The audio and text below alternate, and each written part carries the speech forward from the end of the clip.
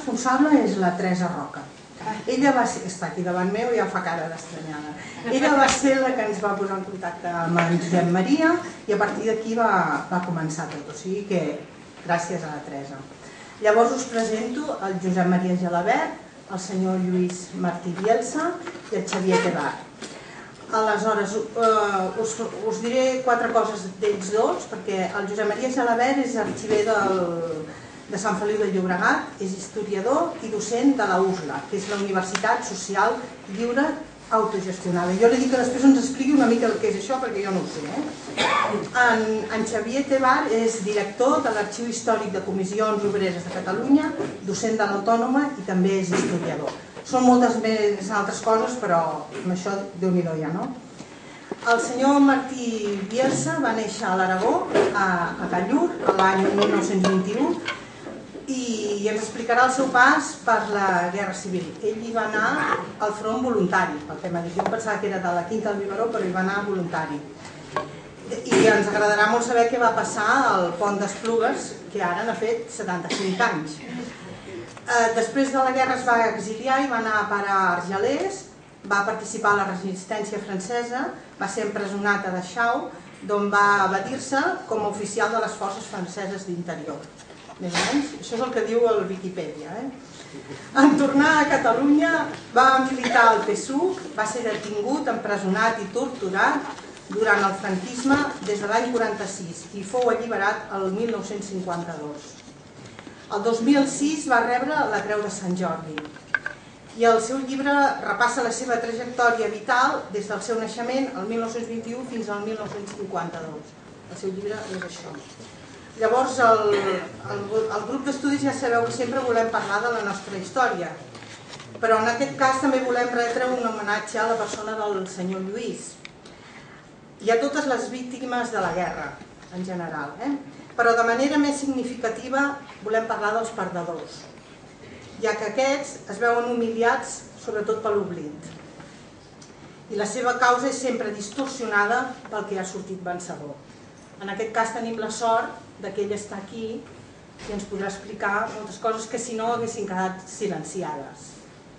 O sigui que és un honor tenir-lo aquí. Moltes gràcies i estem molt orgullosos de que poder comptar amb la seva presència i els seus companys doncs, igual, perquè ens ajudaran doncs, a fer tot això una mica més amè. No, no disposem ni de pen, ni de DVD, ni de fotos, ni de res, però les paraules en aquest cas jo crec que seran molt més eloquents. doncs Gràcies i benvinguts.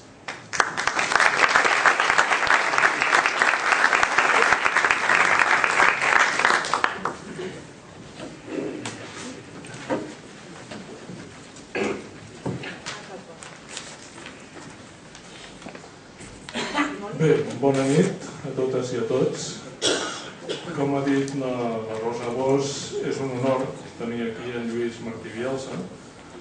Ell té 92 anys, està, bueno, aquest any en farà 93, està molt bé, en respecte, de mobilitat eh, i, i de lucidesa. Eh? Dir, jo, jo l'he anat a buscar avui he fet el, he fet el camí amb ell i dir, m'explica moltes coses i, i és, és envejable la lucidesa mental que té.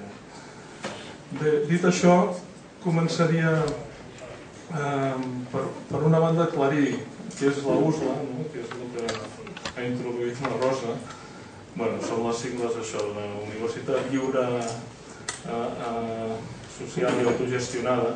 Pot ser un títol molt rimbombant, però bueno, no és altra cosa que, que una entitat cultural vinculada a l'Ateneu Sant Feliu, Sant Feliu de Bregat. No? En, en el seu si doncs, es fan activitats, tant, tant conferències com exposicions. Ara, per exemple, amb la commemoració del 75 aniversari del, del, això, de l'Exèrcit Nacional, de l'acabament de la Guerra Civil, eh, doncs s'ha fet doncs, unes jornades, eh, bueno, un, intervingut, un intervent a diferents historiadors, no? I, i, i ho complementa una exposició que és sobre els, els documents de Salamanca referents al, al PSUC, no? que encara esteu a temps de veure-la si, si us interessa el Palau Falguera, a Sant Feliu, em sembla que està fins al dia 16 de, el 16 de febrer. Eh, vull dir, és una mica una recopilació de les, de les fitxes de militants del, del SUC i de les Joventuts Socialistes Unificades i explica una mica doncs, bueno, el procés, com es va crear, etc. No? I, bueno, a banda d'això de la història també també es tracten altres matèries, vull dir, és bastant interdisciplinari, història de l'art, eh, el tema el tema de medi ambient, etc. No? Però vaja, vull dir, no, no és una universitat allò com, com a tal, eh? vull dir, és potser amb uns propòsits vull dir, més, molt més modestos. No? Bé, eh, d'entrada un aclariment, perquè, com ha dit la Rosa, eh, la Viquipèdia posa que ell va estar internat al camp de, de Deixau i es va dir aquesta informació no és ben bé així, no és, no és certa. És, ho posa a la Viquipèdia, però com, bueno, com tantes altres coses dins, dins de la informació que diu la Viquipèdia, però clar, a vegades potser està mancada una mica de rigor. No? El cert és que ell, eh, arrel d'una... quan estava a la resistència, eh, diguem-ne que el, com que ell mm, d'ofici era mecànic, vull dir, perquè ha treballat doncs, més o menys dins del ram amb, amb altres amb, amb altres aspectes, no? però ell, eh, diguem-ne que, el, que la, la, la missió diguem-ne era eh, reparar els, els camions alemanys de l'exèrcit alemany que, que mm, havien d'anar, diguéssim, al front de l'est, a, a Rússia. No? Llavors eh, hi havia un problema de que no, no, no hi havia greix i, i d'alguna manera doncs, esperaven el greix per, per, per això, per lubricar totes les parts del camió i bé, eh, ell junt amb d'altres, com que estava a la resistència el que, el que feien era eh, barrejar el greix amb, amb sorra i d'aquesta manera doncs, doncs, aquests camions es posaven en marxa i després de 20 quilòmetres doncs quedaven vull dir jo, malmesos no? perquè, perquè en fi, els coixinets de, de deslliçament es eh, ressentien, etc. Se'n van adonar i, clar, ell, junt amb 50, bueno, eren un total de 50 que van considerar responsables, els, eh, els van embarcar en un tren amb la finalitat de portar-los al camp, al camp de, Deixau, de, de Deixau, però com a treballadors dels tallers annexes al, al camp. No? I ell eh, ell va entrar per un costat del vagó, eh, per una porta, i, i aprofitant un descuit se'n va sortir per l'altre i, i es va escapar. Això era una mica el, el, el fet eh, eh, el cert no? de, de, del que va passar, no, no el que explica la Viquipèdia. No? És, era aquest aclariment. Bé, eh, dit això, doncs comentar que bueno, ell eh, eh, va ser militant de les Joventuts Socialistes Unificades de Catalunya eh, i després de, de maig de 1937, dels fets de maig, s'incorpora a la Guàrdia de Sal, a la, a la 32a, al 32è grup.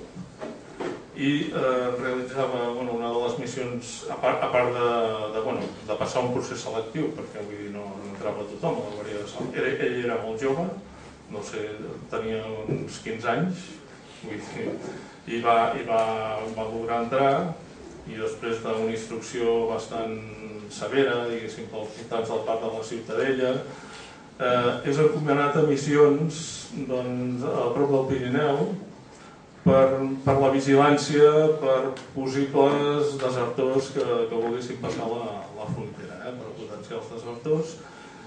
I eh, potser era una tasca, com ell diu en el llibre, una mica ingrata, no? fer, fer, fer, aquesta, fer aquesta missió. I eh, després, eh, més endavant, eh, la, la missió que té és de custodiar els, els enginyers que eh, estaven treballant per, per la voladura dels ponts per contenir l'avanç de les tropes franquistes. Eh, bueno, se'ls se encarreguen diferents missions, una d'elles és anar a Torrelles, eh, el, el conductor confon Torrelles de Llobregat amb Torrelles de Foix, se'n van allà i bé, es troben amb un, amb un problema perquè bueno, estan ja les forces rebels que ja, ja han pres posicions allà i, bueno, i d'alguna manera s'han d'escapolir del, del tiroteig, del setge que, que, que tenen allà. I la següent missió és venir a Esplugues, Esplugues de Llobregat, aquest, camp no, aquest cop no es van equivocar, vull dir, van venir, van venir al lloc, al lloc concret on havien d'anar, i la seva missió era eh, custodiar, eh, o sigui, els guàrdies de salts, era protegir els enginyers que estaven fent forats damunt de les pilastres del pont d'Esplugues i, a més a més, doncs, doncs bueno, per després posar explosius, posar dinamita per volar el pont.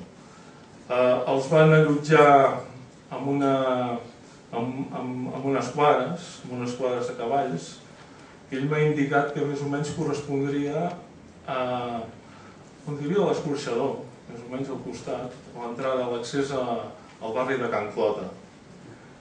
I bé, eh, a part de cavalls el que ell explica és que a més hi havia altres, altres animals, no? Hi, havia rates, hi havia, hi havia puces, hi havia insectes, en fi. I eh, era, era aquesta la, la seva tasca. Per contextualitzar-ho, el que explicarem és que, clar, ells eh, estaven allà, mm, els comandaments pensaven que, que els nacionals vindrien per la carretera, que avançaríem per la carretera des de Sant Just o bé des de, des de Cornellà i al mateix temps hi havia una renglera de, de metralladores al llarg del torrent, eh, que anava des de l'església fins a baix del torrent, cada X metres o cada quants hi havia una metralladora, amb la finalitat aquesta. Eh, aquesta informació me l'ha facilitada vull, vull esmentar-ho al Jordi Migó, que és l'arxiver de Sant Just d'Esvern, i a més a més vull dir, he treballat força al moment aquest, eh, de l'entrada dels nacionals, vull dir, coneix en detall doncs, els ponts que es van volar, el, les dates precises, els, les hores de com avançaven els nacionals, i fruit sobretot d'entrevistes de, orals que ha fet eh, bueno, antics combatents tant d'una banda com de l'altra. No? I a més a més la consulta pertinent als arxius militars de Segovia, d'Àvila, on, on d'alguna manera va obtenir la informació de, totes les, de tots els diaris de guerra. No? Bé, en aquest, en aquest cas, la idea era aquesta, eh, partint d'una estratègia general que era de polar els ponts per retapar l'abans de, de l'enemic, no? polar tots els ponts del Llobregat, eh, de la part baixa del Llobregat, i eh, d'alguna manera eh, ser considerat pues, una mica com, com el Manzanares de Barcelona. No? O sigui, igual que el, el riu Manzanares va contenir, va evitar doncs, l'entrada dels nacionals a Madrid, en aquest cas la idea, la idea era bastant, bastant similar per contenir l'entrada de Barcelona. No? El que passa que, clar, dir, davant d'una un, tropa ja molt desgastada, on no hi havia rotació, eh, eh, en fi, eh, falta de material, etc. Vull dir, no, no va ser possible. Inclús el, el comandament aquest amb Vicente Rojo eh, inclús havia ideat com uns contraatacs que, tampoc es van arribar a fer per, per, per, aquesta, per aquesta raó no? que acabo d'apuntar. Doncs bé, ell estava justament amb les tasques aquestes del, del pont, no? de, de la custòdia aquesta, i alternaven doncs, bueno, estar a, la, a les quadres, i un descans, i, i anar-se tornant cada 4 hores, quatre, cada 4 hores per, per això, per fer la protecció al cos d'enginyers. Eh, mm, el que va succeir és que eh, se'n van adonar que els nacionals els havien envoltat. No? O sigui, en concret, en direcció a la carretera de Collblanc, van observar com, com estaven els nacionals ja instal·lant una metralladora a l'esquena d'ells, no? per dir-ho així. i, i clar, amb la pressió de que, de que avançaven doncs, venint de Sant Just o venint de Cornellà els nacionals. Llavors es trobaven envoltats. Vull dir que amb la terminologia d'ells en deien que estaven ocupats. No? Els havien fet una bossa. Davant d'això, el comandament, el, el tinent i uns sergents doncs, van, van dir que, bueno, que ja l'únic recurs era entregar-se i lliurar-se. I ell eh, justament va pensar en la família, va pensar, no, no en sabia res de casa seva, ell vivia a Barcelona amb els, amb els seus pares al carrer Castillejos i ell va tenir la idea d'escapolir-se, de, eh, d'anar de, de, de, bueno, de com sigui marxar d'allà i, i va, va aprofitar diguéssim per anar en direcció cap al que seria l'entrada a les rondes on hi ha la comissaria actualment, camp, on hi havia el càmping Barcino, i ell, eh, doncs, bueno, aprofitant un talús que, que el privava de la vista allò de l'enemic, doncs se'n va anar per allà i, i, i, i cames amunt doncs va anar en direcció cap a trobar allò on, on hi ha els Tres Molinos i trobar la Diagonal, que en aquella època s'acabava més o menys allà, començava allà la Diagonal. I, i, i, I això que estem parlant era el dia 26. El dia 26 quan després les tropes dir, ocupen Barcelona. Però el que havia passat és que diguem hi havia una, unes banderes de la Legió que van ocupar eh, Sant Pere Màrtir. No? I sembla ser que des de Sant Pere Màrtir, això, eh, això m'ho explicava Jordi Migó, van baixar des d'allà uns, uns destacaments per tallar la retirada, diguem no? per, per, per ocupar-los, per fer la bossa. No? i es va situar un destacament a la carretera que porta cap a Sarrià, diguem-ne, no sé si l'alçada de l'Anesleu més amunt, i uns altres a la carretera de Coitlán, que eren en concret la, la quarta bandera de la, de la Legió, que el comandament era el, en Camilo Alonso Vega, que després, al cap d'uns anys, va ser director de la Guàrdia Civil i després va ser ministre de la Governació, molt franc. I bé, eh, ell doncs, fa escàpols, arriba a casa seva, al carrer Castillejos, la seva família se n'ha anat, es troba uns familiars que li expliquen el què, i ell emprèn el camí cap a la retirada i d'alguna manera doncs, doncs bé, prossegueix el seu periple. Jo, eh, passa a França, com bé ha explicat la Rosa, als camps de concentració, eh, forma part de la resistència, està en el moment de la lliberació de París, eh, que, és, que amb el... La lliberació es produeix el, a l'agost del 44, sota el comandament del capità Raimon Dron, i, i justament on, on hi ha una, una segona divisió blindada que està integrada per molts espanyols allistats a la, a la legió estrangera de manera forçada. Ell no està allà, eh? no està en aquesta divisió, ell és un ciutadà més de París que està a la resistència i participa en els, en els, en els actes de la resistència doncs, per afavorir l'alliberament de tots.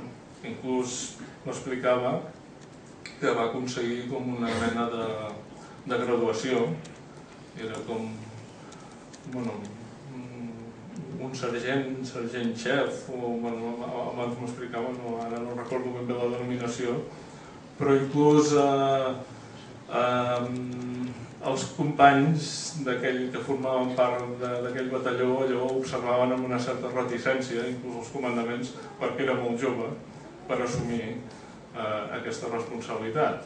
Però ell, com que havia estat a la, a la Guàrdia de Salt, doncs ell, ell tenia molta, molta formació en aquest aspecte, bueno, havia estat doncs, bueno, a, a la guerra no? i, i d'alguna manera doncs, bueno, se'n surt en aquest aspecte.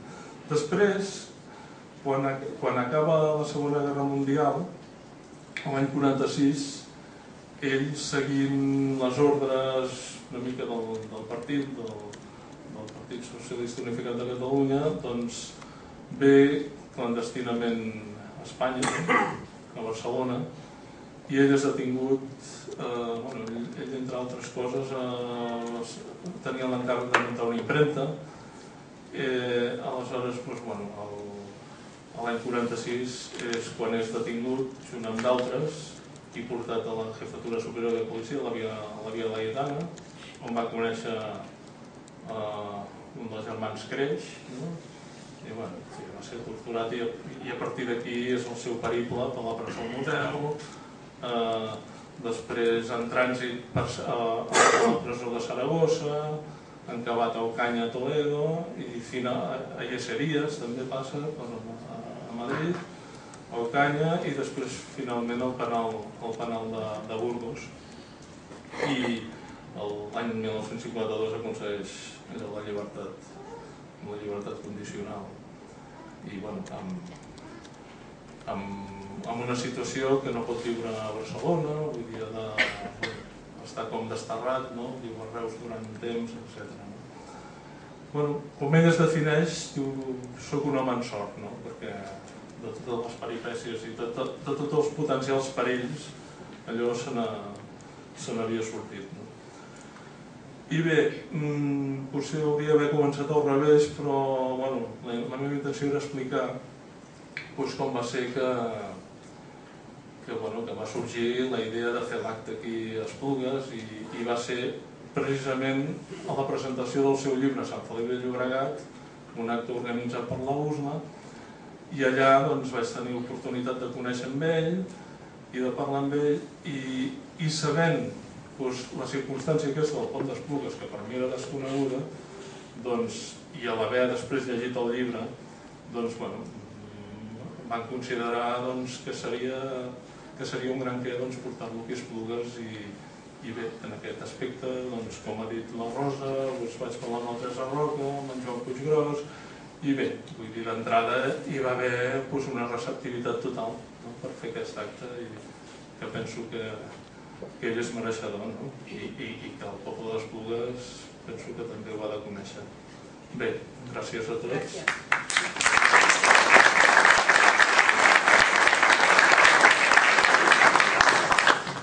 Tot seguit passo la paraula a Javier Tebar. escolta? No.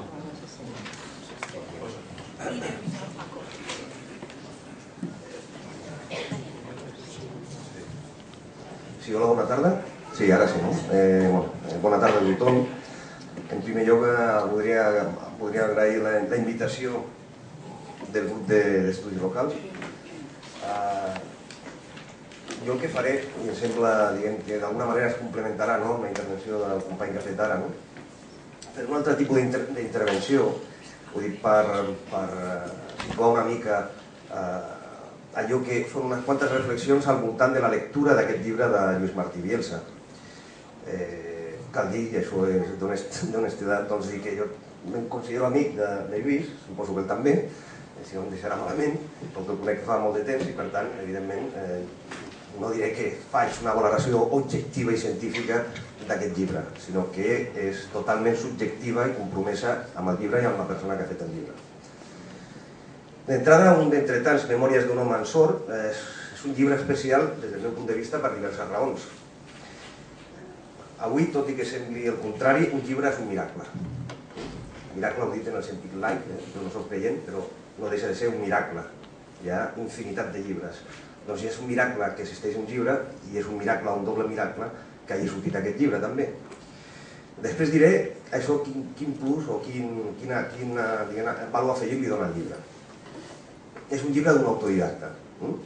que contradiu tot allò que s'espera, no? el lector de l'alta cultura, que els llibres, la lletra impresa la fallen amb molta cultura o d'un nivell cultural. Doncs aquest és un llibre d'un autodidacta amb molta cultura, no sé si alta o baixa, però mostra eh, que sap relatar i que té la possibilitat, no, sinó la capacitat de fer un relat àgil, eh, que no sempre és fàcil. Eh, és un llibre que tracta de la memòria d'un país, de la memòria de la gent menuda, eh, del país. Per tant, m'atreveixo amb totes aquestes condicions que jo entenc, que són corresponen a aquest llibre, que és un llibre necessari avui. No més que altres, però necessari. Eh, per què? Perquè recull la raó d'un temps, d'una experiència molt allunyada, allunyada del temps i d'una generació. tot i que a mi no m'agrada massa la categoria aquesta orteguiana de la generació, però crec que simbolitza, podria simbolitzar a bona part d'una gent, eh, de la generació que s'ha dit dels 30, eh, i per tant recull aquesta experiència que ja és llunyana en el temps. He parlat que ara ha fet 75 anys de l'ocupació franquista de Barcelona, de Barcelona. Per tant, se parlen de més de mig segle. Per tant, és el testimoni d'aquesta gent, d'aquest país i d'aquell temps. Jo en relació a una cosa que s'ha dit abans, no? sobre el tema de les víctimes, que estic d'acord, eh? i sé que és un tema complicat, però sí que vol situar una cosa sobre el tema de les víctimes. A més, eh, crec que estar justificat amb la presència del relator de la Comissió de Drets Humans de l'ONU, eh, que ha estat fa poc dies aquí, i que ja ha avançat, no l'informe, però sí alguna valoració sobre l'informe. O sigui, les víctimes totes són dignes, són víctimes, però el que no pot fer-se és construir víctimes blanques i m'explico, víctimes blanques per mi és sense color, incolores. Mm? Perquè clar, situar les víctimes en aquesta situació és no saber exactament a què respon allò que li passa a la víctima, per què va morir, per què va ser represaliada, etc. Jo crec que això és un gran risc que hauríem d'evitar. Eh? Igual que hauríem d'evitar el que ha assenyalat el professor Ricard Vinyes sobre crear una mena de reconciliació al voltant d'una víctima eh? que uneix a tothom sense cap tipus de responsabilitats. O sigui, a l'espai de les víctimes el que passa és que no hi ha responsabilitats de ningú. I el ser el que, el que estan demanant des de fa molt de temps al moviment de recuperació de la memòria històrica, eh, memorialístic, és no solament reconeixement i reparació, sinó també responsabilitats. I situo directament el tema de la querella argentina, eh, que sembla ser, eh, un jutge ha decidit que, que, en fi, que això no... Eh, o sigui, no sé si algú de vostès ha llegit, però fa poc van publicar un article al País, sembla que ser abans, abans d'ahir o ahir, eh, Garzón, juez eh, Baltasar Garzón, pot agradar més o menys la figura de Garzón, però el que és cert és que eh, tot això que està passant, la evolució que està passant en aquest país, també passa per la via del tema de la memòria històrica, de manera fonamental. Aquí va haver un moment en què la memòria històrica va estar central durant uns anys i estem de baixada en un llarg tobogà on la memòria històrica comença una altra vegada a retrocedir. I això cal dir-ho en un acte de presentació d'un llibre com el de Lluís Martí Bielsa. Dit això, per mi la, la valoració del, del llibre com a autobiografia és una cosa que, ditxa, eh, que, que ja vaig dir o vaig escriure al pròleg, al pròleg d'aquest llibre. El pròleg deia, acabava el pròleg eh, dient la història com la literatura, en aquest cas és autobiografia, per tant és eh, memòria, rememoració. No? La història com la literatura aconsegueix salvar, salvar de l'oblit, les memòries de Lluís Martí Bielsa, sobre bona part de la seva vida, no tota, eh? encara eh? més de 90, per tant, mm, eh? ho fan. En el seu acte de recordar, salven de l'oblit molta gent anònima. I això és, i la idea del títol de Lluís és claríssima, un d'entre tots. Per tant, és situar no la seva vida, sinó una vida individual dins el conjunt d'una vida col·lectiva. Aquest és el gran valor del plantejament de les memòries de Lluís Martí Bielsa el valor de l'autobiografia no cal insistir-hi. Diré un parell de coses que a mi m'interessen molt per justificació de les autobiografies. Bueno, en primer lloc, en aquest país no hi ha molta tradició, per no dir escassa tradició o gens de tradició, autobiogràfica, de l'escriptura autobiogràfica o biogràfica. És a dir, a diferència, per exemple, de les cultures eh, protestants, no? o del nord d'Europa, on la gent fa dietaris, fa memòries i tot això, aquest país, malauradament, no és un país amb una tradició d'aquest tipus de gènere, que hi ha, que existeixen, eh? però no, no és un país amb una cultura d'aquest tipus. Això dona encara més valor a autobiografies o biografies com la de Lluís i d'altres que han sortit gràcies a això que van dir Moviment per la recuperació de la memòria històrica que va tenir la seva arrencada a partir de l'any 2000.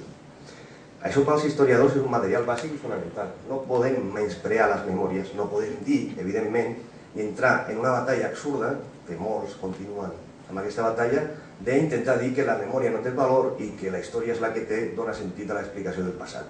Simplement la memòria i la història són dues formes d'apropar-se al passat, diferents, però no en contradicció.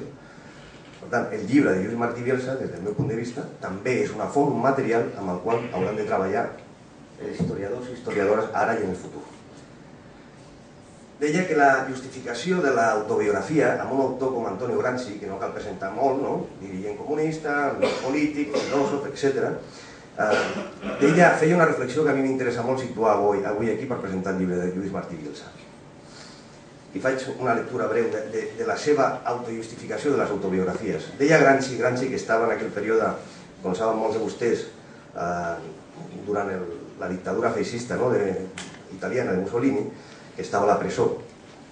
Va escriure una sèrie de quaderns no? de notes que després van publicar-se al finalitzar la Segona Guerra Mundial i l'home aquest va escriure des de la presó pràcticament sense cap material doncs, bastant extensament sobre la política, la cultura, la societat, la història, etc.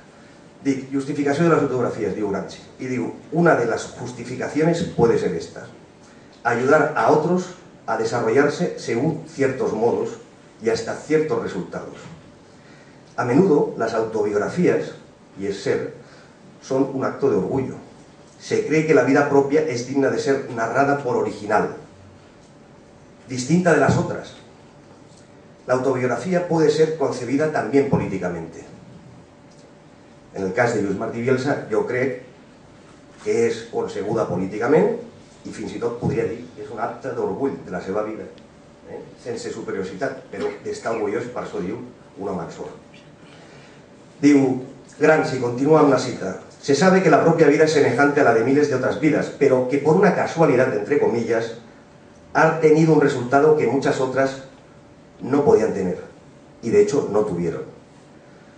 Relatando en esta autobiografía, se crea esta posibilidad, se sugiere el proceso, se indica el camino. La autobiografía sustituye, pues, al ensayo político, per ser hoy tan en horas baixas o también al assaig filosòfic. Pero el importante es que para Gramsci la autografía tiene un gran valor histórico en cuanto que nuestra vida es en acción y no solo como debería ser según las leyes escritas o los principios morales dominantes. Què vol dir això? Doncs que amb l'autobiografia, amb allò que es relata de la vida pròpia, el que es viu es constitueix en un material que pot ser he dit als historiadors, però fins i tot a la imaginació literària, per explicar les moltes vides, ha situat abans en la seva presentació que ha viscut Lluís Martí Bielsa. Lluís Martí Bielsa ha viscut com a mínim 10 o 12 vides diferents, tot i que són la mateixa. Ha viscut com a mecànic, com a soldat republicà, com a exiliat, com a resistent, eh, com a militant de l'oposició antifranquista a l'interior del país.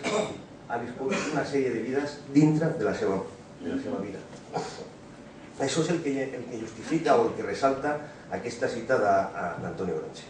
En definitiva, jo crec que eh, Lluís és un representant, podia ser un representant o es podia entendre que és un representant de la generació, d'aquella generació heroica dels anys 30, mm, que a poc a poc, el que és lògic, van desapareixent i que alguns historiadors, en particular, i repito, Ricard Vinyes, ha fet algunes biografies, que no autobiografies, parlo de la biografia, per exemple, del soldat de Pandora, que és la vida de Sebastià Piera, que coneix perfectament Lluís Martí Bielsa, o també la biografia de Maria Salvo.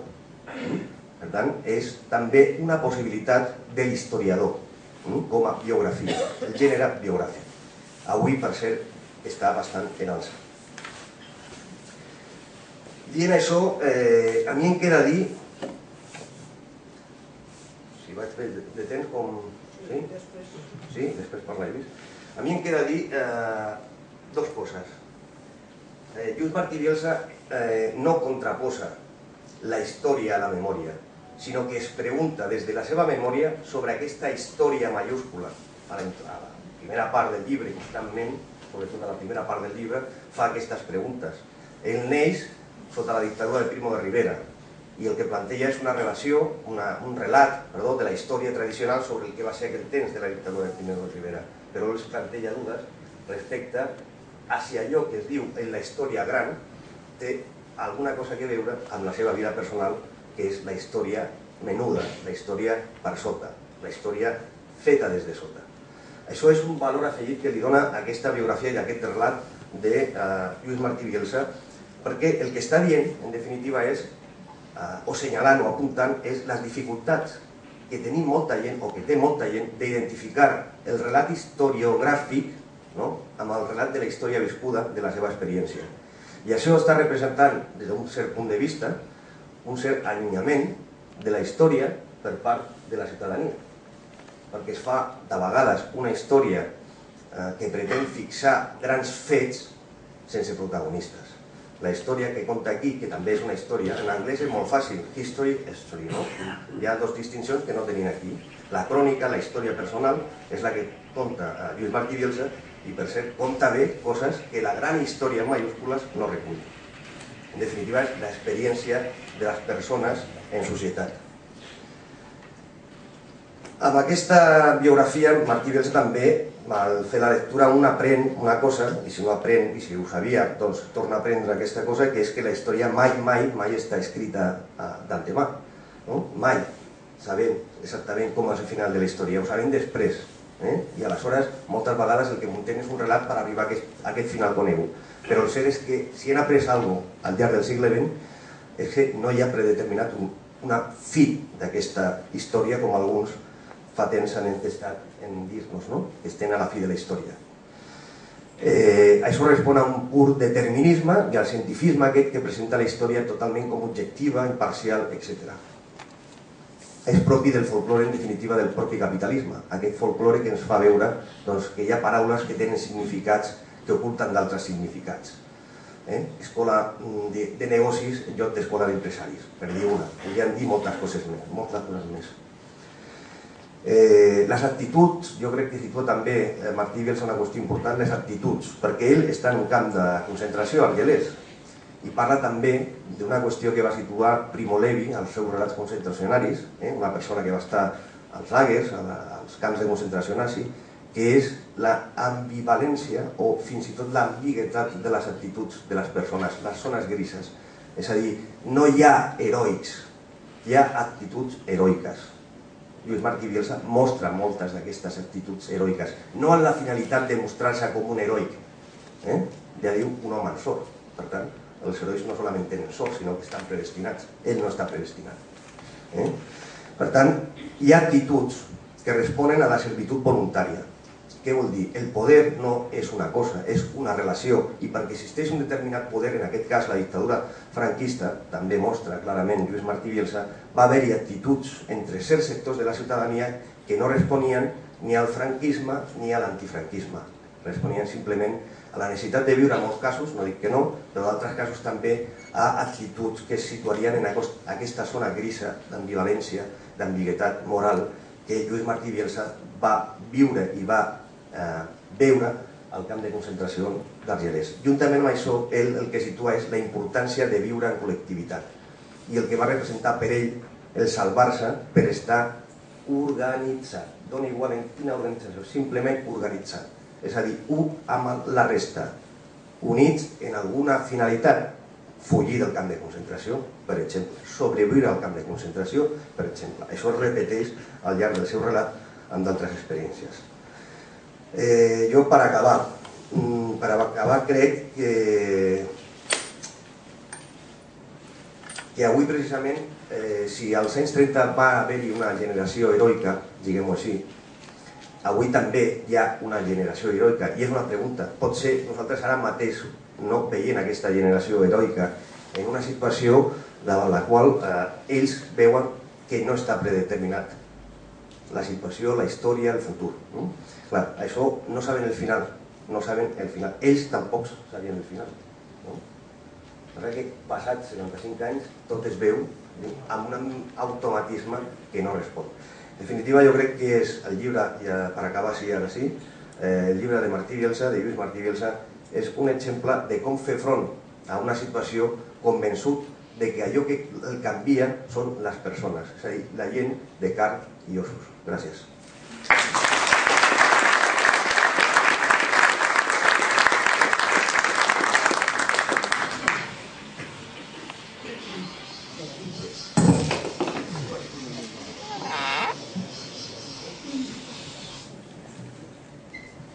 Se sent? Sí? Sí. Perquè jo, com que sordejo, apenas sentia les persones.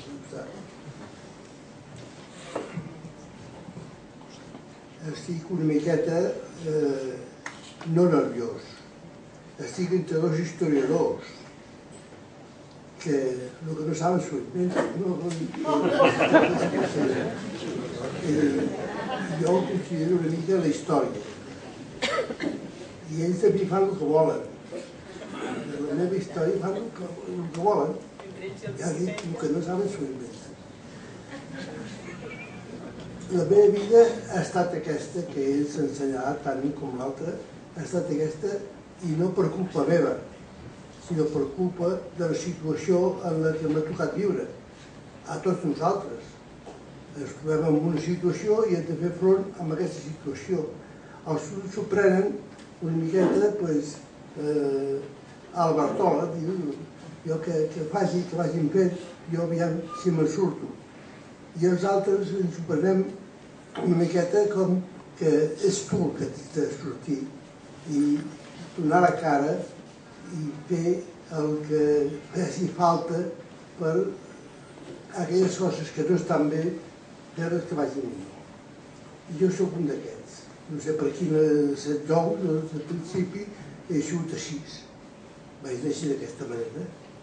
Eh, no sé, quan una cosa no m'anava bé, no li donava la culpa als altres, sinó a mi mateix perquè no he fet el suficient perquè aquesta cosa no és millor. I entre tot, he pres dues notes només, perquè la vida m'ha proscrit una sèrie de paraules per les que no puc transigir, no puc passar per aquestes. Jo quan sento parlar dels nacionals és que em poso malalt, em poso malalt. Els nacionals eren nosaltres. Érem els republicans que defensaven el nostre, defensaven la república i no puc sentir la paraula nacional en boca de persones que tenen motius per saber el que estan dient. I una altra, la que acabes de dir tu quan has parlat, eh? els perdedors. Jo mai m'he considerat un perdedor. La guerra jo no la vaig perdre, ni tots els lluitaven per la república la van prendre, la van perdre. A la guerra nostra no ens la van deixar guanyar que és una altra història. Les democràcies europees no es van deixar guanyar la guerra i això ho hem de fer sempre i a partir d'aquí hem d'explicar les coses. Deixar les coses al seu punt i a partir d'aquí explicar-les. Nosaltres teníem convenciment i prou força per guanyar una guerra sense l'haguessin deixat guanyar. Això ho opinem nosaltres i opinen tots aquells que van combatre nosaltres. Jo vaig ser voluntari des del principi. Des dels 14 anys jo era voluntari a les files de l'exèrcit de la República, una promoció que va sortir de guàrdia de salt.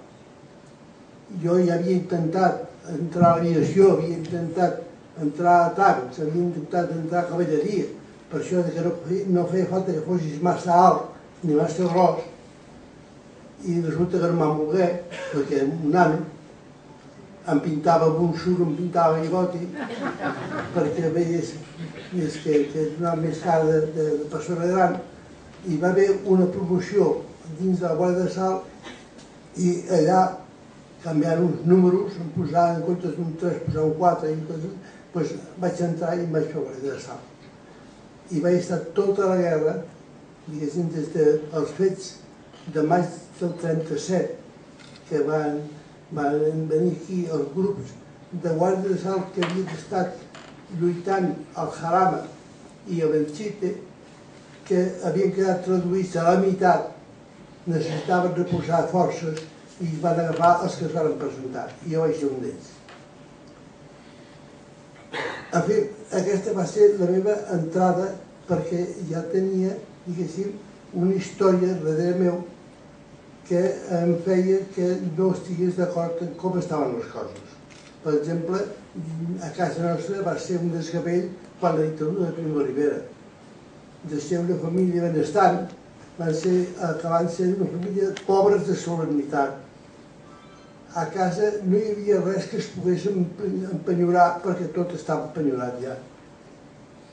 Després d'empenyorar les coses que teníem a casa, una casa ben muntada, després d'empenyorar-les, vam tenir de vendre les paperetes de l'empenyorament també.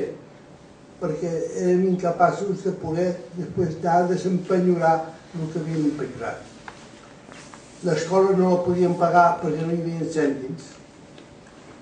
Jo, en set anys, vivia a Badalona, anava a ajudar els pescadors que baixaven, venien amb les barques perquè en donguessin un grapat de peix, perquè si no aquella nit no sopàvem a casa. I amb aquell grapat de peix sopàvem a casa. I tenia set anys. Tot això vas acumulant-lo i et va formant. Van acceptar a les escoles de maristes de Badalona com a pobre. I aquesta gent, els maristes són molt bons educadors, molt a la seva, però també volen que se sàpiga el que fan, el que fan per protegir i per ajudar amb els que, amb els que no poden subvenir a pagar un, una mesada a l'escola. Tots els mesos els alumnes havien de passar pel despatx del director a pagar, a pagar l'estada a l'escola. Nosaltres també, el meu germà i jo, també teníem de passar, però no a pagar, sinó simplement a passar, perquè tots els nanos sortien després de pagar llepant un carmelo d'aquests llargs de regalèsia i nosaltres, com que no pagàvem, no sortíem amb un carmelo, sortíem sense carmelo i els nanos sabien que nosaltres érem els pobres de la classe perquè no portàvem carmelo. Això et feia estar malament. Un dia, un dels nanos que no sabia qui no coneixia, no era amic meu, estava esperant que jo sortís de l'espai del director sense carmelo per donar-me la meitat del seu. Això en set anys sembla mentida que pugui penetrar-te tant a dins com em va penetrar aquell nan a mi. Que inclús avui quan el recordo m'emociona el saber que ja de molt petit està funcionant el que diem no l'ajuda o l'opció, sinó la solidaritat. Ja de molt petit. Això vol dir que jo ja vaig néixer, diguéssim, amb una estrella posada i vaig seguir amb aquella estrella i tota la meva vida està relacionada amb això. Vull parlar de, de, de Pont d'Esplugues. Vull parlar de Pont d'Esplugues. Eh, jo estava al 32 grup de salt a la tercera companyia amb una secció de tercera companyia. I es van destinar al Pont d'Esplugues per tenir cura dels enginyers que estaven minant el pont per volar-lo i retardar l'entrada franquista a Barcelona. A l'exèrcit ja havia retirat del front, la retirada de l'Ebre ja va ser més que una retirada, una desbandada, i entre els feixistes, entre els franquistes, que jo sempre dic, i nosaltres, només estava el pont d'Esplugues. Si nosaltres tallàvem el pont d'Esplugues, a l'abans o l'entrada a Barcelona ja s'havia tardat. I nosaltres tenim de tenir cura que aquelles persones treballessin amb tranquil·litat i fessin la seva feina. Recordo d'aquell temps el pont d'Esplugues era una altra cosa i passat avui no, no val, és irreconocible. Eh, en aquell temps eh, estàvem amb, una, amb unes naus que eren unes quadres que hi havia menys cavalls, que eren unes quadres per cavalls, menys cavalls hi havia de tot. Hi havia parlant un plata verda per tot arreu i rates les que volies. I molt a prop, molt a prop de les quadres, una torre magnífica on el Ministeri d'Hisenda havia instal·lat el seu ministeri. En Indonesio Prieto havia instal·lat el seu ministeri allà. Això recordo perfectament des de les naus es veia aquesta, aquesta torre. I nosaltres fèiem, doncs, com era natural, el relleu, cada quatre hores es rellevaven al costat de... Recordo que una vaca de les que també retiraven va caure en un pou dels que havien fet per posar dinamita i el voler treure la vaca estirant-la per les valles amb una grua una grua d'un camió grua, eh? Bueno, pues, la, van, la, van, la, van, la van decapitar pràcticament, va sortir morta la, la, la vaca i ens la van menjar. Eh? No tenia menjar, ens la van menjar.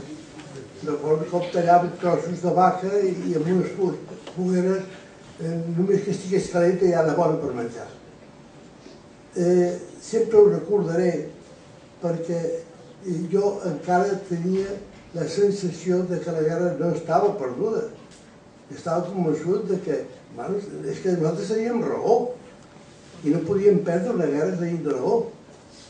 Aleshores, recordo eh, com eh, em vaig posar frenètic quan l'oficial que comandava la nostra secció va dir haurem de rendir els meus presoners, traurem bandera blanca, perquè ja han instal·lat una metralladora eh, i em trenca el pas per anar ja per la carretera a Barcelona, a Sant Guillem Castellers. I me'l vaig quedar mirant i dic, pues, jo no. Si vostè vol rendir presoner, rendeixis presoner, però no compti amb mi. Jo agafo i me'n vaig. I efectivament vaig treure el cap, vaig veure que estaven instal·lant una metralladora a la carretera, però que no estava encara instal·lada, vaig fer quatre passes, vaig atravessar la carretera i em vaig posar darrere d'un taús de terra que hi havia fent senyals amb els companys que veiessin que els materials ja no funcionaven. De totes les seccions vaig incorporar un company, Àngel Zafra, que per cert és curiós. Aquest home em va acompanyar a mi fins a França, fins al camp de concentració. Allà es van perdre la pista un de l'altre i ja no vaig saber mai més res d'ell. I precisament per aquest llibre i per una, vegada que vaig sortir a televisió que vaig nomenar jo aquest nom, em van trucar a casa un dels fills d'Àngel Zàperes. Dient que havia sentit aquest nom i que devia ser el seu pare perquè de Zàperes no n'hi ha masses aquí. Vivia hospitalet encara que sola. És de la meva edat que jo, encara més peixet que jo, quan ens coneixíem, perquè jo vaig créixer molt després, i eh, diu que el meu pare pues, encara està viu, eh, en possibilitat, estava amb cadira de rodes, no parla, no pot parlar, però tindria una alegria si pogués veure, perquè ens ha explicat moltes coses de la seva invenció, eh? i l'home pues, està neguitós. Vaig anar a casa seva, estava ell amb una cadira de rodes, aquell home va tenir l'alegria més gran de tota la seva vida a poder-nos abraçar. I els seus fills es van apenedir de no haver-se creu, cregut tot el que els explicava aquell home. Després estava amb el meu llibre tot el que els havia explicat. I era molta coincidència explicar el mateix les persones que no s'havien vist des de llavors. Llavors els va saber greu que no s'havien cregut amb el seu pare que fos capaç de fer tot allò que explicava. Això una cosa que et passa a la vida, que formen part del teu bagatge i que pot fer servir sempre per situacions que es prestin a ser recuperades, et van formant. Fan de tu una persona, una persona amb coneixements, no he pogut estudiar com han estudiat els companys aquí al costat, perquè quan vaig sortir de la presó, vaig sortir del penal de Burgos, vaig voler fer el batxillerat perquè tenia estudis capaços de que jo podia treure el batxillerat en un any. I el primer que em van demanar va ser el certificat de penals. Parlo de l'any 52. I estava el certificat de penals que podien presentar a mi pues no m'admetien en cap institut. Vaig intentar entrar a la SEA com a càrrec tècnic, perquè jo tenia estudis tècnics per poder, per poder exercir i el primer que em van demanar ser va ser certificat de penals. I com que jo amb aquest certificat de penals no podia anar, no podia fer, pues, jo recordo que vaig voler treure'm el passaport i vaig anar amb un gestor. El gestor cap d'uns dies em truca i diu, escolta, vinc, vingui a recollir els papers perquè nosaltres no li podem gestionar. Com que no? Vostè és un gestor. Diu, no, no, és que eh, a vostè li demana el certificat per alt. Ah, li demana. No, no, ja s'ha demanat, però quan venen no ens atrevíem a anar a la policia eh, amb el certificat de penal, perquè també que no ens deixin sortir després a nosaltres. Així que em van impossibilitar després de sortir de, de penal de Burgos, em van impossibilitar continuar els estudis i poder tenir diguéssim, una acreditació dels coneixements que jo podia tenir. Això és una part que jo explico aquí de la meva vida, perquè a les altres sembla que siguin doncs, eh, aventures de l'avi que va explicar en batalletes i no m'agraden explicar batalletes. Jo sempre eh, he qüestionat el que expliquen molts, eh, posant-se llaurers a sobre, perquè no pot ser que tot sigui tan bo que amb un li coincideixi coses per, perquè sí. A mi m'han concedit que Sant Jordi, jo estic convençut que és perquè tenim la Generalitat un govern d'esquerres. Si no, a mi no em donen la Sant Jordi. Perquè a mi donen una cara de Sant Jordi per la meva lluita continuada contra el feixisme. Jo la vaig acceptar per això, perquè això m'enorgulleix. M'enorgulleix que digui que he votat una lluita continuada contra el feixisme. I per això vaig acceptar la casa de Sant Jordi però va ser un govern d'esquerres que me'l va donar i això també tenim molt en compte. Eh, hi ha coses que sembla mentida que al temps que estem, estem encara compti. Que un pugui anar amb la seva personalitat pròpia i ser valorat per aquesta personalitat que tingui la persona, sinó ha de representar una cosa que no és el mateix, representar alguna cosa. I això és el que no va a mi ni ha anat mai a mi. En temps jo he tingut etapes molt dures, molt dures. Aquí explicava que són moltes vides, que he tingut, efectivament, són moltes vides. Jo m'he trobat amb la necessitat imperiosa de representar un altre paper del que era el meu habitual i l'he tingut de fer jo he sigut oficial de l'exèrcit francès, no perquè no vaig entrar a París amb la, amb la divisió Leclerc, amb el capital Dron, no, jo no era d'aquests. Els, els homes que van entrar amb el capital Dron a París, amb els tanques que deien Belchite, Brunete, això, el francès, l'estat francès de llavors, hauria de tenir vergonya de que es valia d'uns homes que havia castigat i els havia obligat a fer-se de uh, la legió estrangera si no s'enviaven a Espanya I aquests homes que van anar forçats a la legió estrangera a França per no ser fusillats a Espanya per enviat per, per l'estat francès, aquests homes van ajudar a França a alliberar-se dels Alemanya. Aquestes coses no es donen jo he estat convidat a París per celebrar un aniversari de la liberació de París.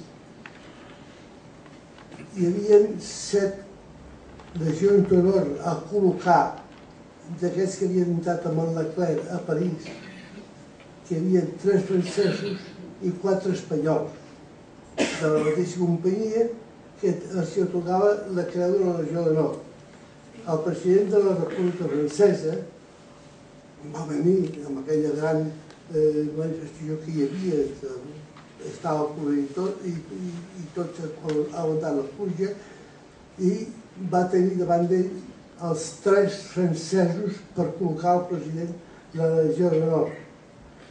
Els quatre espanyols que havien estat amb ells a l'entrada a París, que se'l veixien i van ser guardonats amb aquesta legió, se la van haver de col·locar ells, la legió no.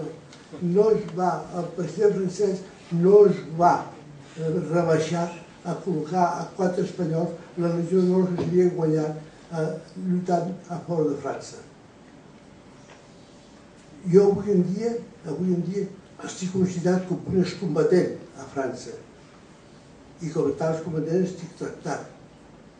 Però és perquè ens ho hem guanyat nosaltres lluitant no per defensar França ni aquell govern que tan malament s'havia tractat quan la nostra guerra, sinó per defensar el poble francès, que és el que patia de veritat l'ocupació alemana a París. A París, per cada alemany que s'hagués mort, afusellaven a deu francesos que tenien com hostatges. Per això van decidir passar-se de l'acció directa en contra dels alemanys al sabotatge. Per això, aquí explicaven, aquests camions que tenien d'anar al front de l'est a la Unió Soviètica, a lluitar contra la Unió Soviètica, els van sabotejar posant sorra al greix que ens havia vingut feia temps que no en teníem eh, posant sorra. La sorra provenia del que teníem a totes les fàbriques i tallers de París, hi havia caixons en sorra a causa de les bombes incendiàries que només en sorra es podien apagar. No podies tirar-hi aigua perquè llavors s'acabava tot.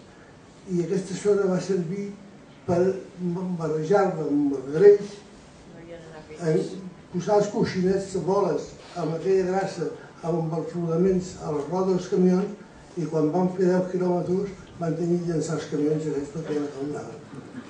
Això ens va comportar de, de tots els que treballaven a la crònica d'un Bordeus a París, en traguessin 50 i a punta de baioneta es col·loquessin un autobús d'allà a la caserna, de la caserna a la, a la, una caserna alemana, de la caserna a l'estació de l'est i de l'estació de l'est cap al camp de concentració a Alemanya. A, a, a, això, a, a, a, se m'ha anat el cap. Bueno, eh, a Alemanya. Ens van avisar, aneu a treballar a Alemanya. Sí, anàvem a treballar per dintre d'un camp de concentració quan va muntar el tren, diu que tregui, no treia el cap a la finestra perquè tenen ordre de tirar, els soldats alemanys tenen ordre de tirar amb els que treguin cap a la finestra. Vull dir que això no era treballar, això anava, eren presoners, ja eren presoners de fet. Vaig pujar, vaig primer pujar al tren, amb un dels vagons, vaig dirigir-me a la porta de l'altre costat, vaig veure que estava oberta, vaig baixar i no vaig anar. Jo creia que si aquí s'havia acabat tot. No era veritat. Al cap d'una setmana a casa rep una, una faceta de Gestapo dient que si no em presento prendran represalis amb la família. Jo tenia els pares i tenia un germà en allà. Vaig tenir lluitar per presentar-me. I la meva sort vaig dir aquest dia, això no la sort, la meva sort va ser que sortís il·lès de la cur de Vincenes, que era el lloc més temut per francesos, perquè el que entraven allà i el sortia, almenys per seu peu. Vaig entrar a la cur de Vincenes tremolant. Al cap de cinc minuts d'estar allà, vaig veure què podia convèncer aquell home de que jo era innocent. Jo era un espanyol i Espanya era amic dels alemans. I hi ha una divisió que està lluitant per vostès al front de l'est. Jo soc espanyol, tenia la carta de nacionalitat que també, per una sort, detenia perquè el nebot del vicecònsul espanyol a Carcassona era un refugiat com jo i ella va, va fer aquesta documentació, la carta de nacionalitat, falsa, però idèntica, perquè tenia tots els llibres que tenir la carta de nacionalitat. I aquesta carta no va voler sortir il·lès de la culta Vincenes. Hi ha anècdotes que les vas sumant una cosa de l'altra i en totes les anècdotes podies fer un llibre que, segons com, inclús podia ser hasta còmic perquè una mentida que un oficial de la CSS es deixés enganyar a una persona que jo, que tenia llavors, em sembla que tenia 21, 21 o 22 anys, es deixés enganyar com es va deixar enganyar aquesta persona. els que són més terribles són els, els, els guardians francesos i la policia francesa. La policia francesa va estar perseguint durant tota la meva estada a París fins que em van enxampar. I van enxampar, una vegada a casa, ja t'han trobat després de tant. No, com que són molt bandurs, si no em trobaven se n'anaven. I quan em van trobar, llavors eh, em van agafar i se'm van portar cap a la factura de policia allà ja veurem aviam què és el que has fet perquè ja portem temps darrere teu. Em van dir la policia francesa. Vam mirar els arxius i vam veure era una, una ordre dels alemanys de la meva recerca, una cerca i captura dels alemanys a mi per sabotejador de l'exèrcit alemany. Aquell home policia encara ha estat donant cops al pit. Jo sóc un imbècil jo sóc el cap de la resistència del districte i et persegueixo tu que ets un resistent. Aquell home eh, va tenir aquesta vergonya d'enfrontar-se a mi, aquesta vergonya va dir, vagi que si hi ha alguna cosa que et pugui perjudicar, ja l'avisarem perquè vostè prengui les, les mesures que cregui oportunes. Però vagi No cal aquí aquesta història, perquè aquesta mateixa ordre de certificatura la tenia la gendarmeria, i després de la liberació de França, al final ja quasi de la guerra, em va venir a buscar al sud de França, on jo era oficial d'un batalló de seguretat francès. I la gendarmeria se va portar a París. Però jo l'informe amb un pistol posat al costat. I quan va entrar aquests dos gendarmes a la prefectura de policia a París i em portem eh, presoner a fulano de tal, que no tenen rebut, el oficial que estava allà diu presoner i la pistola que diu no ens l'ha pogut donar. Així va passar aquella cosa. Aquell home va fer el mateix. Va anar a buscar el meu expedient, per això podia venir a buscar al sud de França, i va veure que era una ordre que havien rebut dels alemanys de la meva certificatura. Així funcionava la policia francesa de llavors. Això no és d'estranyar que moltes, moltes vegades eh, nosaltres poguéssim més que la policia francesa i féssim les coses que podíem fer a França si amb una altra policia no s'haguessin pogut fer. En fi, hi ha coses que es van sumant a la història i que et fan passar estones bones i estones dolentes. Per exemple, jo he tingut la satisfacció allò que deia una mica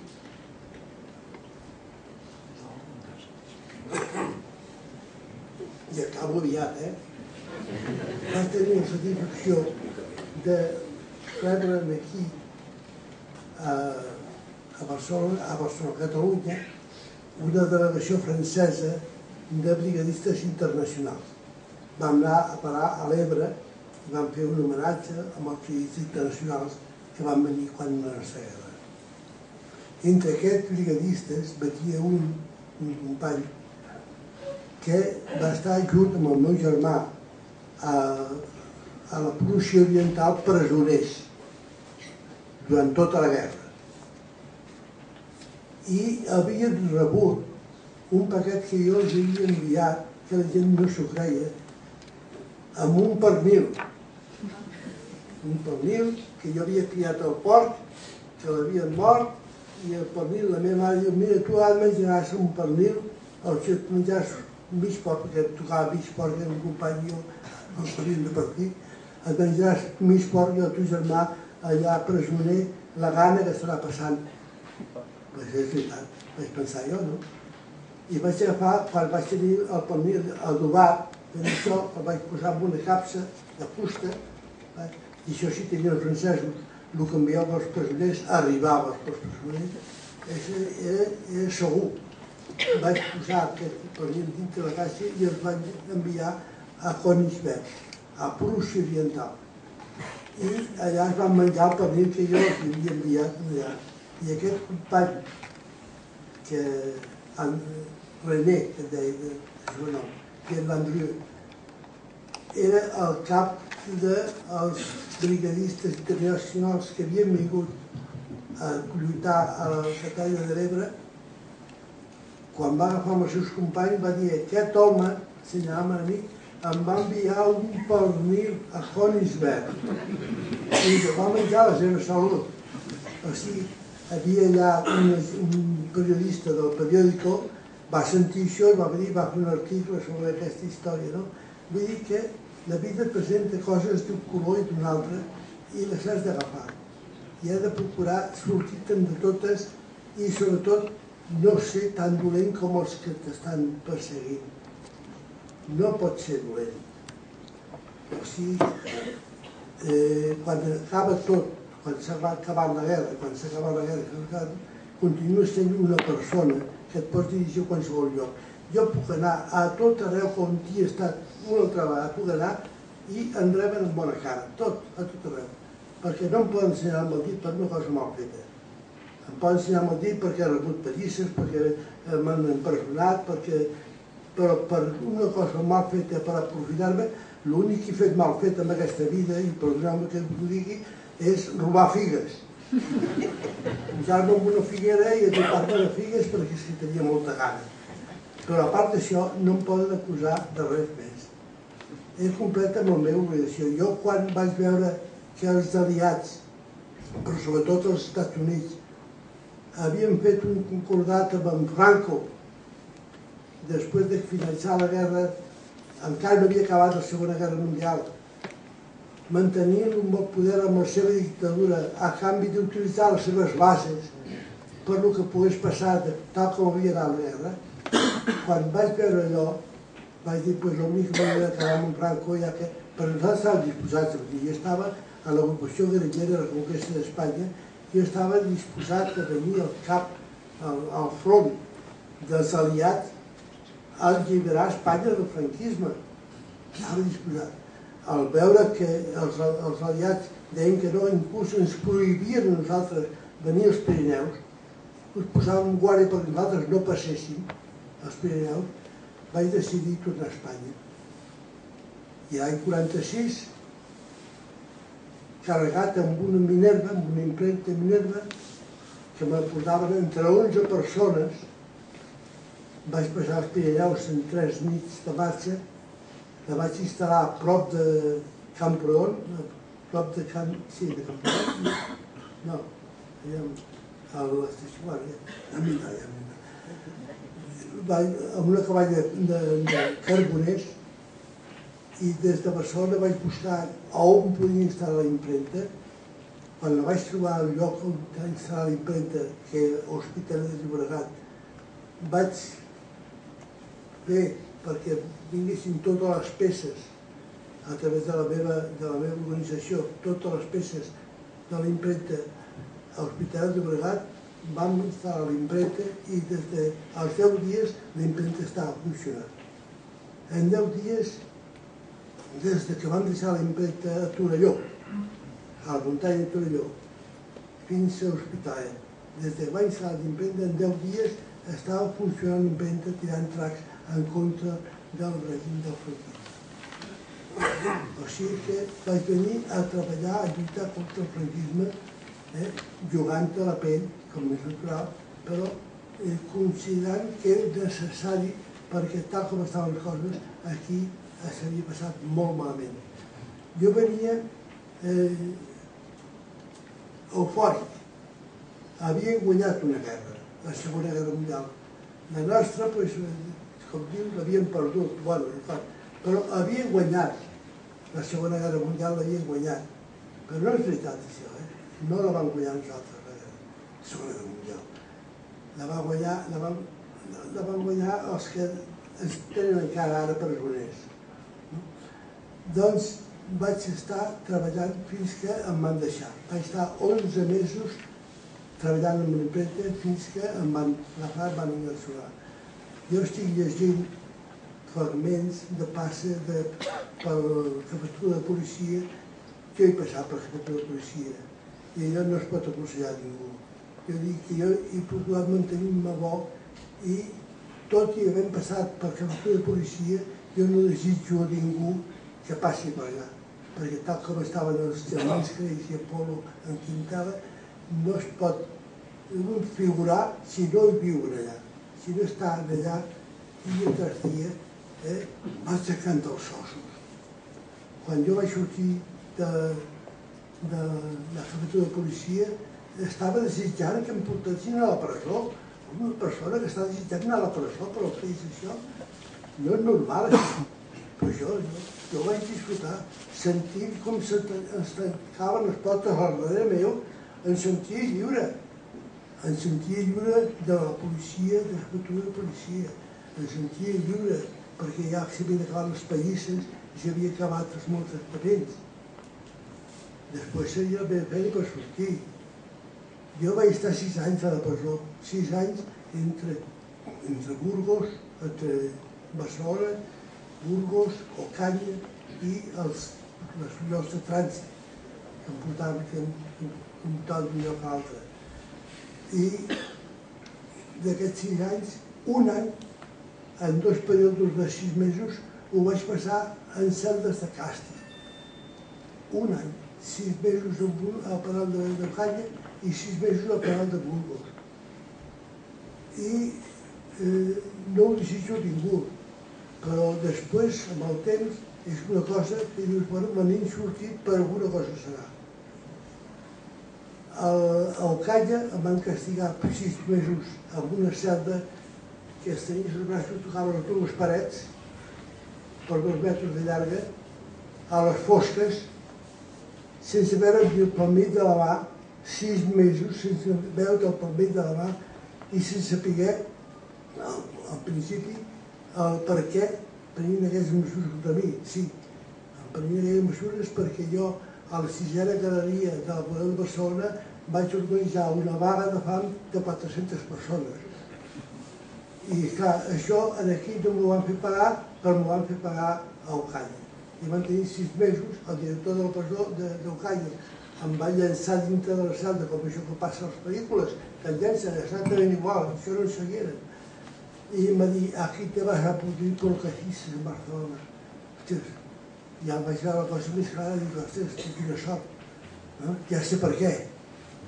No sabia ni quan decidir anar, però vaig estar sis mesos.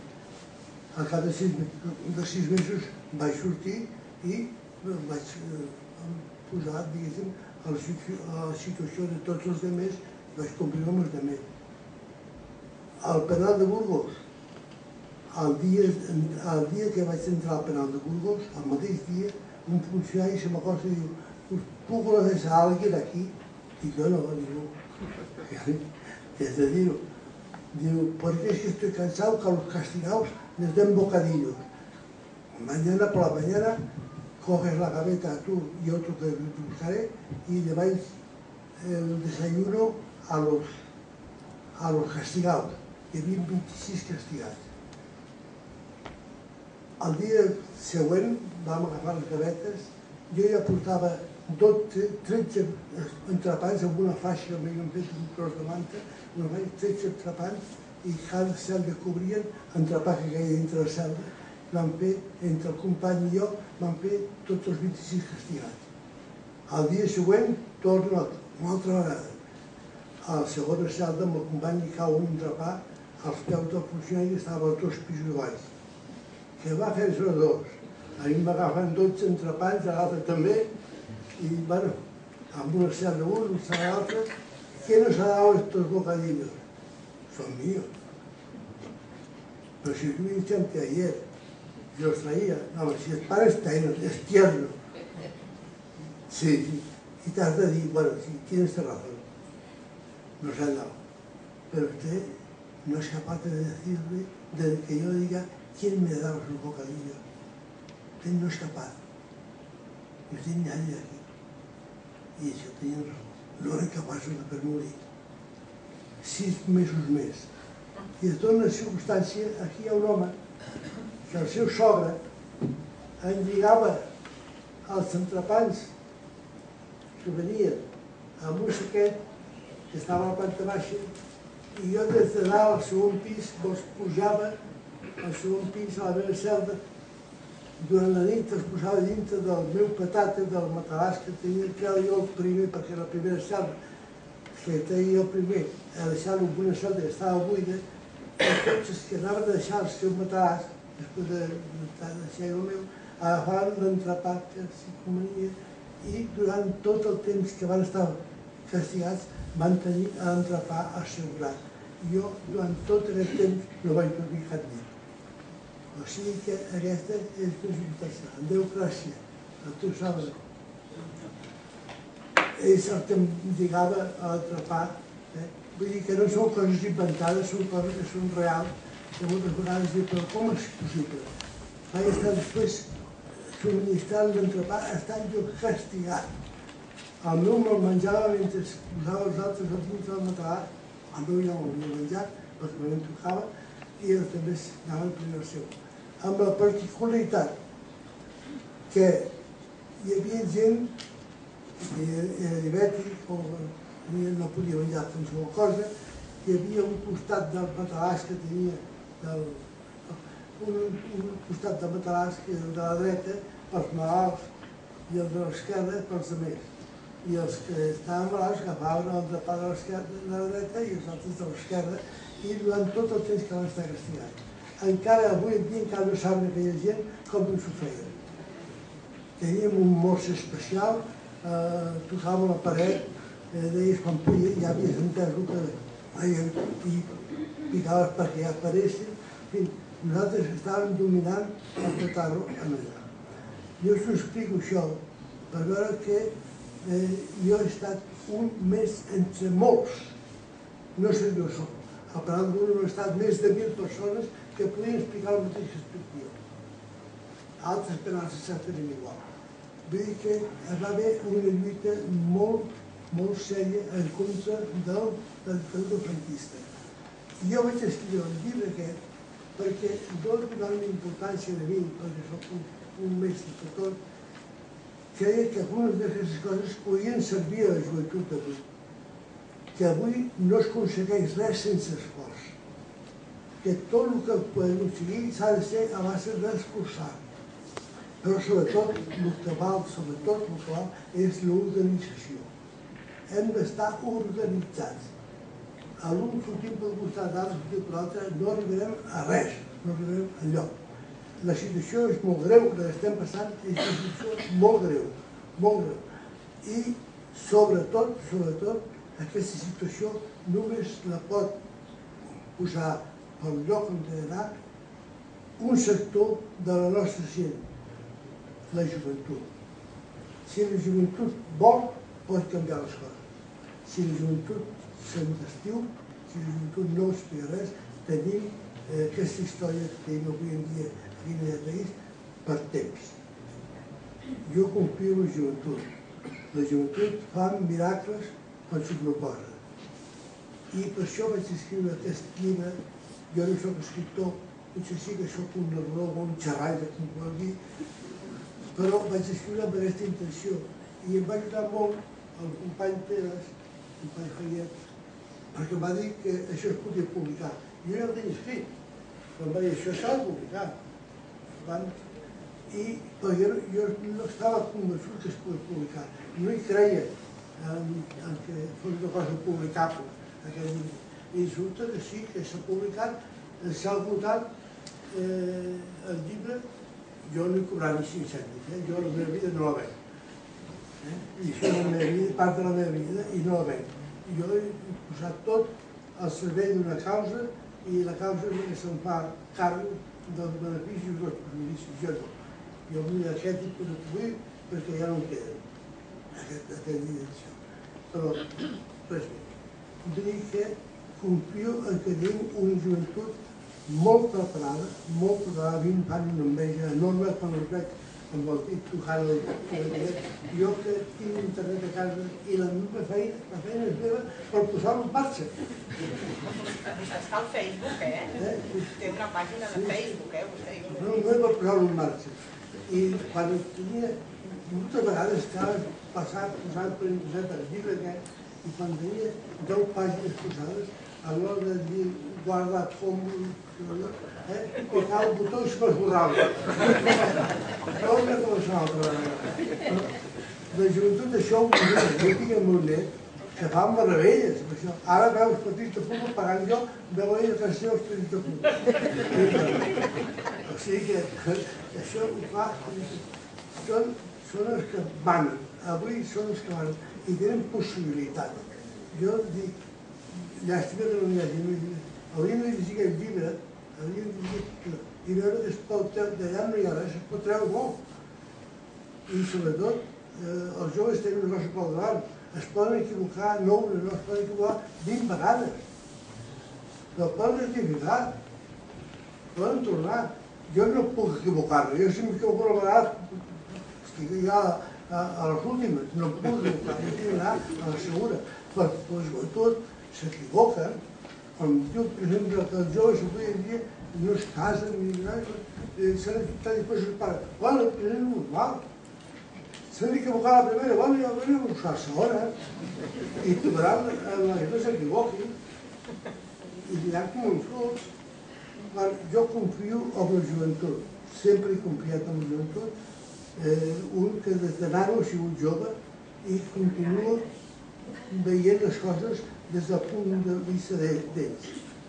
Eh, els hi perdono moltes coses que jo no les faria, però almenys els hi perdono i crec que hi ha possibilitats d'arreglar les coses.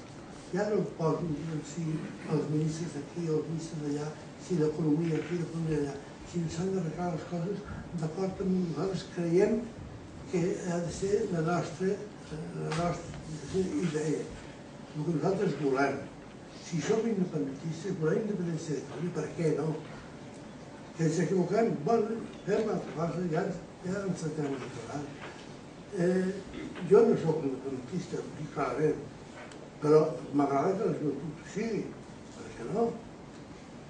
Jo sóc una persona que voldria que el món estés a una, que tothom estés a una, perquè per mi ha de venir no és que parlin de manera o parlin d'altra. Jo m'he sentit sempre un obrer, un treballador. Per mi l'enemic és el sistema. Aquest sistema capitalista que se'ls arregla per fer les coses amb benefici propi. I nosaltres sempre estem pagant les conseqüències. Jo vull la unitat de tots aquells que miren al progrés i viuré sempre d'aquesta manera i moriré sent així. Però accepto que la gent pensi d'una altra manera, ja ho crec. D'alguna manera sigui acceptable, però accepto i els ajudo si puc, perquè no que sigui cruel, va endavant. En fi, jo crec que si no m'estendria més. Gràcies a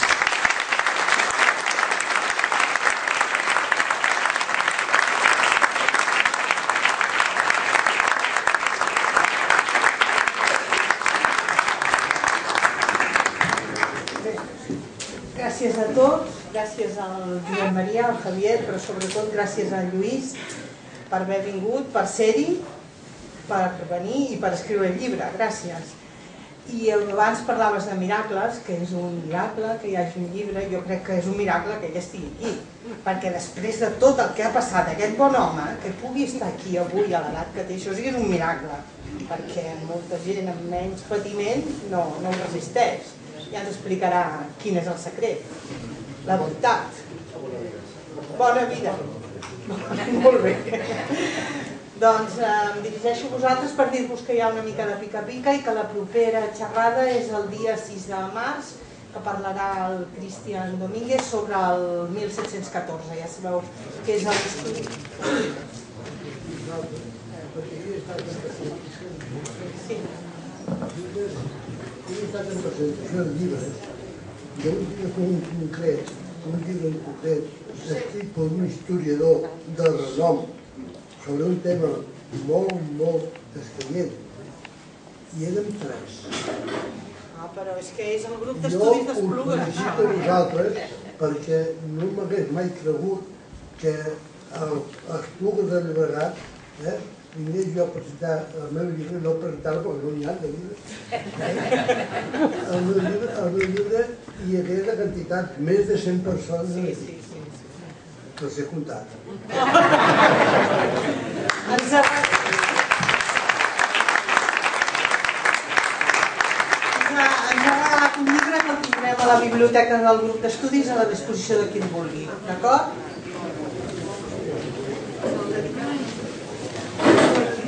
El de Gràcies, m'ha salvat la vida. No de res, home.